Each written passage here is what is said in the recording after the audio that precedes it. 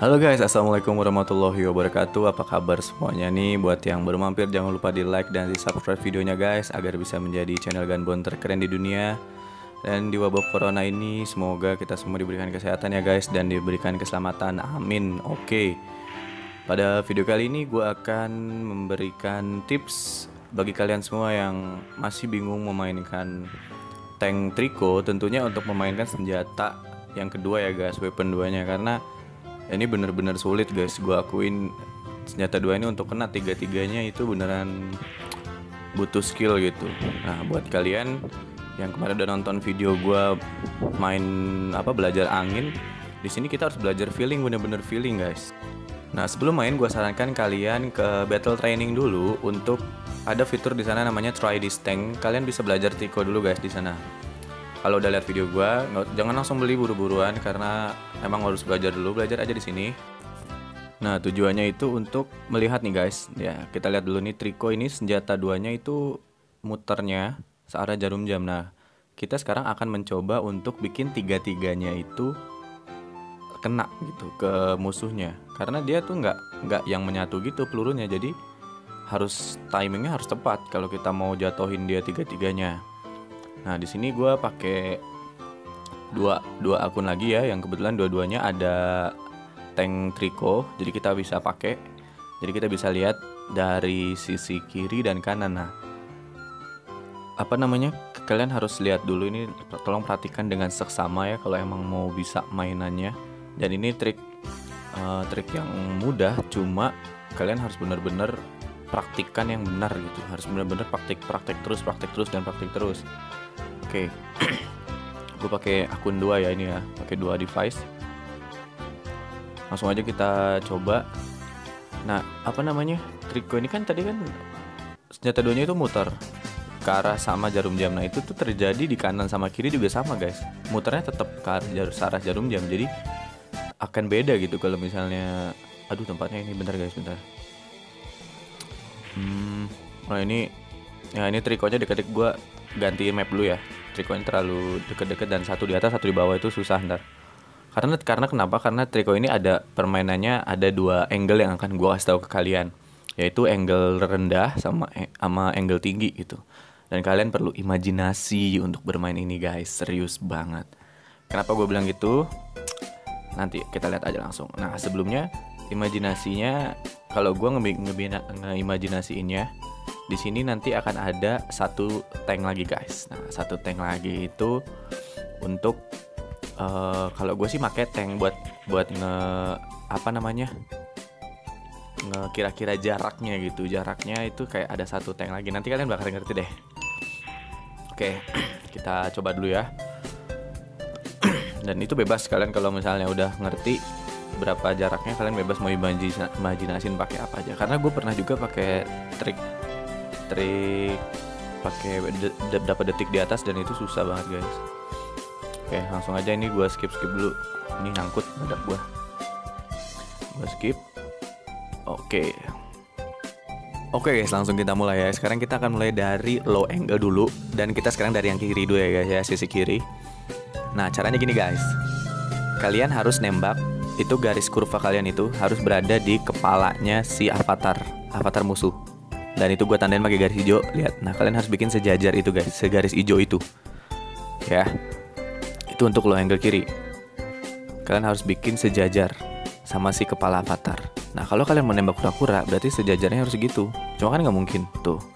Nggak mungkin karena kalian akan abrak duluan ke si bearnya atau kena batu-batu itu. Gitu ya. Sekarang kita coba. Der nah kena tiga-tiganya guys. Great good. Sekitar 200 nah itu kalau perfect bisa 260 guys. Itu low angle kiri. Sekarang kita ke kanan. Angle kiri gampang lah ya. Nah low angle yang kanan ini di saat ini kita harus menggunakan imajinasi kita guys. Di sini gue imajinasikan yang tadi di depan gue bilang yaitu uh, ada satu tank lagi gitu ya. Ada satu tank lagi dan itu akan gue taruh di atas tank musuh kita.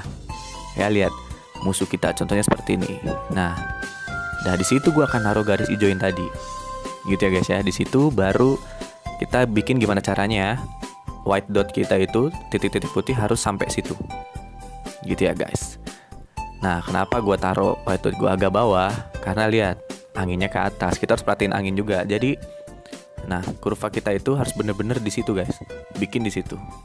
Oh itu hampir, nah itu nggak kena perfect banget ya, kena kakinya. Udah lumayan, 200 gitu guys kalian harus di sini kalian harus bener-bener belajar feeling angin. Ini udah keluar dari rumus yang kemarin guys. Ini adalah rumus triko oke kita coba lagi saya. Kita coba lagi yang di uh, low angle kiri dulu. Coba.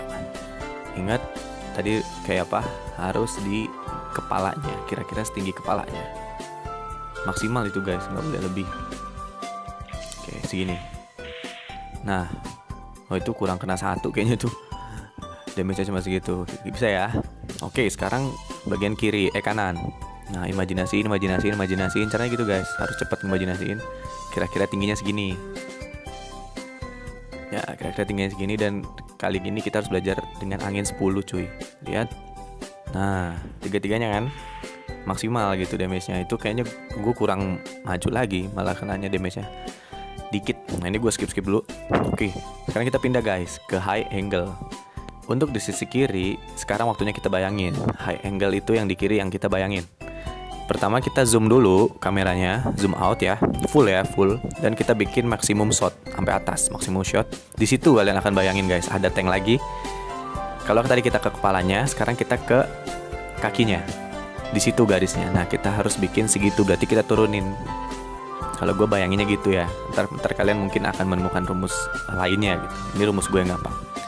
Jangan lupa perhatiin angin guys, oke? Okay? Jadi gue akan turunin, tadi gue ada maksimum shot Sekarang gue turunin, turunin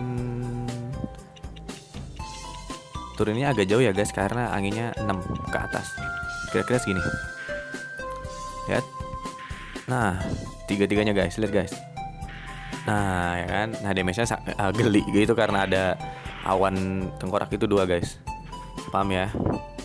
itu low angle kiri sekarang low angle kanan. Eh low angle anjir. Sorry guys. High angle ya. Untuk high angle kanan kalian cuma butuh kayak uh, super sky shot aja guys. Kayak biasa. Jadi kita, kalian bisa pakai rumus yang gue ajarin kemarin. Tapi harus di situ. Harus stabil. Jadi kalian harus turunin dikit. Karena 6 angka 6 gue itu ke atas lihat. Nah itu masih ketinggian gue guys. Sorry ya itu masih ketinggian harus stabil harus stabil Nah itu itu salah satu contohnya guys kalau kita nggak nggak pas tingginya itu harus benar-benar stabil di sana. Nah ini kita coba high angle ya, full dulu. Oke, ini udah full. Imaj gue imajinasiin di sini full. Turunin sekakinya. Oke, kira-kira segini ya, karena dia anginnya menekan ke bawah. Ya. Rrr, mantap guys, 266 cuy. Paham ya? Nah, ini angle kanan. Gampang ya anginnya cuma 4 nggak ngaruh banyak. Ya. Ini gue tarik full guys. Zoom out dulu terus tarik full. Tembak. Ini damage-nya nggak akan sakit karena ada awan ya. Lihat set. Anjay ya kan? 160 ya damage-nya gara-gara awan anjing itu guys. Oke gue skip lagi skip lagi.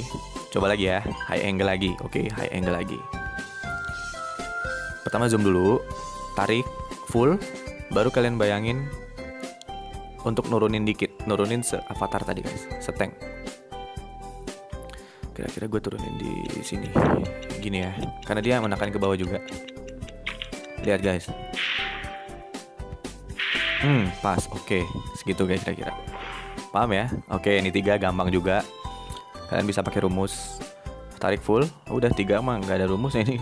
Anginnya nggak ngaruh banyak lihat siu tiga tiganya kena paham ya guys ya Gimana udah gampang kan ya? Kira-kira kayak gitu guys contohnya.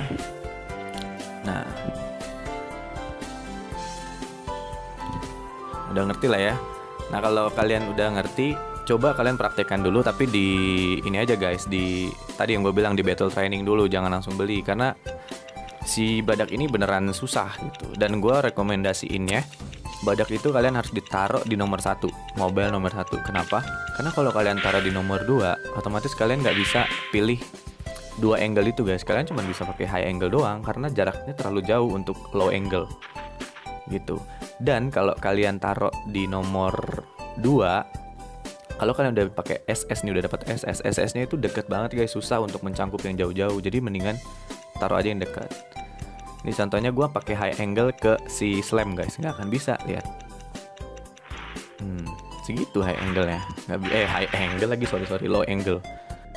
Nah makanya gue rekomendasikan untuk taruh di nomor satu agar kalian bisa memilih low angle dan high angle. Gimana guys, ngerti ya? Nah ini salah satu eh, gambarannya guys ya. Untuk low angle, nah gambarnya seperti ini. Kalau di kiri tingginya segitu, di kanan kalian harus bayangin tingginya segitu. Ini untuk high angle, lihat beda kan? Nah kira-kira gitu aja guys. Kalau untuk yang ada tornado, ini gue belum bikin videonya yang ada tornado, gue nggak dapet. Kalian tinggal balik guys. Yang kanan jadi di kiri eh yang kanan pakai rumus kiri yang kiri pakai rumus kanan dah gitu aja. Gitu ya guys kalau gitu. Thank you banget yang udah nonton. Eh, jangan lupa di like dan di subscribe atau di share ke teman-teman kalian ya guys ya. Karena subscribe itu gratis guys. Please oke ya sekian dari gua. Video ini semoga bermanfaat dan thank you. Wassalamualaikum warahmatullahi wabarakatuh